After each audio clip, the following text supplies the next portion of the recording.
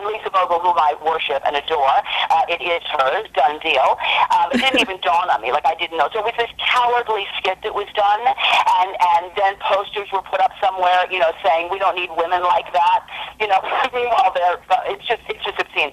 So it was really a cowardly act, which is always the case.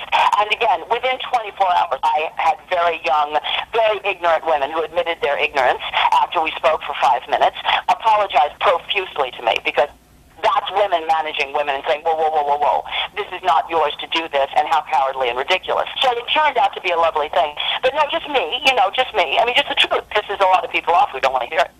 Is it talking about weight and that kind of Oh, thing? yeah, it's the whole. Yeah, it's it's the whole. You're telling me I can't be. I'm not telling anyone anything. What I'm saying is, if you live in a human body and you're not getting oxygen every day, you are internally suffocating. And there's only one way to get oxygen in movement. Period. The end.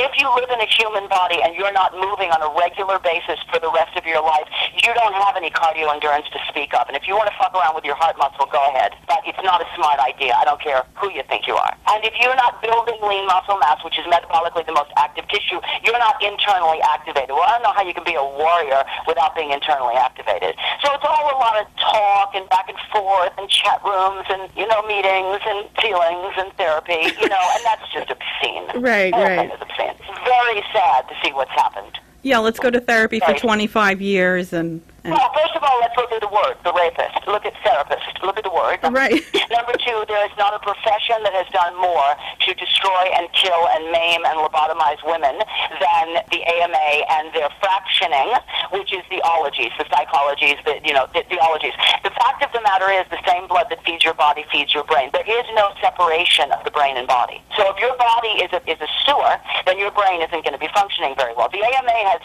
fractioned the ologies deliberately, and their primary victims are and always have been women. Women, thank you. But what I know now, because I just had an experience with a mental institution in New England, getting someone out who was uh, falsely uh, committed, um, what they do now, they used to have to at least have your father's signature to lobotomize you. And if you were Joe Kennedy, you just had to be a daughter who had an opinion, and then you were lobotomized. Wow. But the fact of the matter is now they're doing it with one shot. They're doing it with Haldol. So now they're doing it chemically. Pharmacology has taken over. So now if you're a hysterical woman, you get one shot, you're down. There's nothing you can do. And they got you drugged to the nut. They got, listen, the two fastest selling drugs in pharmaceutical history are Viagra and Prozac. Who do you think's getting the hard-on pills, and who do you think's getting the antidepressant? Nothing has changed but the drugs. My mother was given Valium when I was 10 years old. I was in the room. And her doctor told her to have a glass of wine with her Valium. Oh, my Nothing's changed but the drugs. Nothing. nothing. I just I just did a whole tour where I opened a couple of shows and I, I talked to very young lesbian women and uh, they were very receptive because I, I opened with nothing's changed but the drugs, ladies.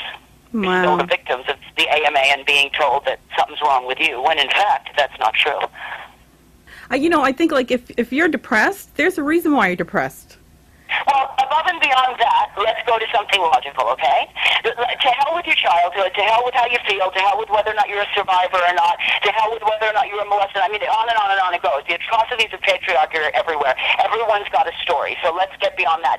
If you are depressed, why wouldn't you eat better than most people on the planet? Because that definitely contributes 100% to depression. Why wouldn't you get oxygen? Because movement absolutely supports in every way, from in every way, from chemical responses in the brain to just that fruit, that relief when you exercise. Why wouldn't you eat, breathe, move, and think more than anyone? Then after you do that, let's see how depressed you are then. And any therapist who's treating any any anybody for anything, but certainly depression, who is not including at least fifty percent biochemics alone, is an irresponsible healer. Done deal. And not a healer. I wouldn't even say healer after that. And none are. What are you eating? Are you eating whole foods? You're eating well? You're taking nutrients? You're exercising every day? Because nothing will support healing more than that. Uh, So if you're feeling depressed, take charge of your body. Well, listen, it, an AMA fact, this is their statistic, not mine. 85% of all disease, all disease can be directly attributed to lifestyle. 85%. So if depression is a disease, so they say, so they keep pushing down everyone's throat, then uh, if that's the case, then 85% is directly attributed to lifestyle. Good. Then change your lifestyle, and you've got 8% control. And medicate the other 20 if you insist. right.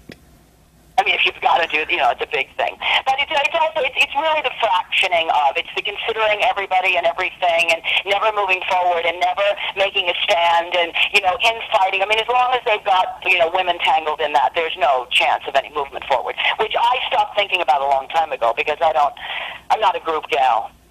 Yeah, you don't sound it. You know, and I'm interested to know what. And I hate to keep going back to this Michfest, but I'm I'm fascinated only because I could see something like that happening to me. It was actually really beautiful because Lisa came straight up to me immediately and she said, "Come back to my, you know, my tent." And I said, "There's no reason. You tell those little fuckers that if you want misogyny, they are." I expected them to walk in with penises. They were. It was so ridiculous. And when I said to the first one who came up, this big, bushy, you know, 19-year-old, 300 pound, you know, I've got power lesbian, and I said to her, child, I suggest that before you judge someone and do what you did, you meet them. Right. I said to her, and she started crying. Wow. I mean, I have children. I don't tolerate that shit. Yeah. What Are you with? kidding me? And that's what I said to her. I said, if you would like to know my opinion, read one of my seven books because my opinions are in there. right. Right. It's not like I haven't been saying it for years. Yeah. Yeah. Uh, do you feel like uh, the lesbian community is very sexist these Oh, days? God, the most. Well, if you want, listen, it's nothing I love more than lesbians. Nothing I love more than than. Uh, it, it's not even a discussion. The fact of the matter is, when women stop acting like 1950s housewives and considering everyone and not rocking the boat, and how do you feel about it? You know, let's have a consensus.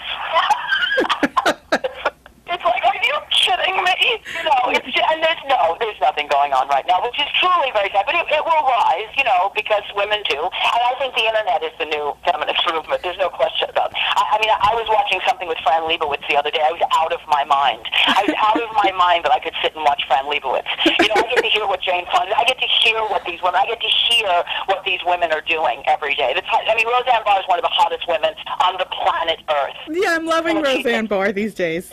Yeah. Oh, she's every feminist on this planet. She is actually doing more. She's a she's amazing. She's an amazing woman. Mary, mm-hmm. very well. But she's a hot woman, and what she's saying is, is astoundingly courageous. Astoundingly.